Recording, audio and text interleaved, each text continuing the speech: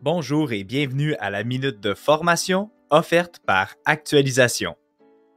Cette semaine, nous allons voir les organisations inclusives.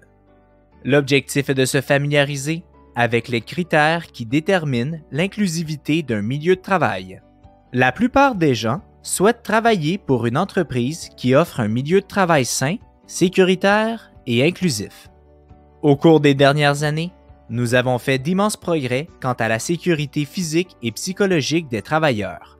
Toutefois, l'aspect inclusif mérite qu'on s'y attarde de plus près. Mais qu'est-ce que l'inclusivité en milieu de travail? Le concept de milieu de travail inclusif renvoie à l'idée de favoriser la diversité de personnes et d'idées au sein d'une entreprise en créant un milieu où chacun a un sentiment d'appartenance et peut vraiment être lui-même avec son équipe et l'entreprise. La diversité humaine peut être regroupée en trois catégories. La diversité visible, la diversité non visible et les autres dimensions de la diversité. La diversité visible comprend la culture, l'origine ethnique, la race, la nationalité, le sexe, l'âge, l'état mental ou un handicap physique. La diversité non visible regroupe les pensées, les perspectives et les expériences de vie notamment l'instruction, la situation familiale, les valeurs, les croyances, les préférences de style liées au travail ainsi que le statut socio-économique. Finalement, les autres dimensions de la diversité incluent l'orientation sexuelle, la religion et la langue. Au-delà des lois et des politiques qui peuvent paraître complexes en cette matière, plusieurs points démontrent le caractère inclusif ou non d'une organisation.